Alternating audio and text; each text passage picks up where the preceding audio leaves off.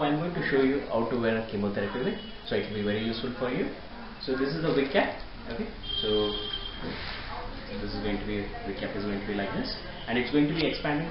It's going to be expand like this and it's going to be a standard size and anybody can wear this okay? So wearing this wig cap you know it's going to you are going to feel very comfortable it's absorb it's going to absorb sweat and the wig is not going to hook inside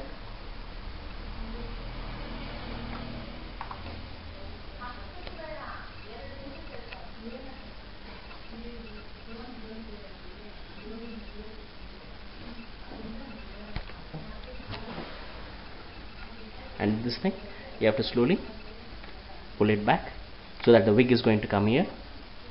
So otherwise this is going to be visible. This wig cap is going to be visible here.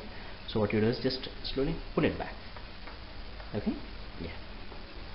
Make sure it's going to cover and your your if you have a very short hair inside you know you can just pull it inside. Now I'm going to see this this the cap you know it has to be little bit above like this.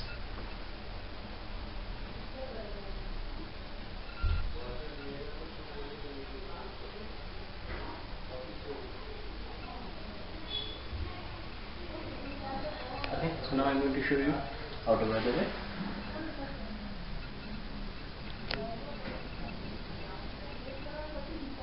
so this is a long wig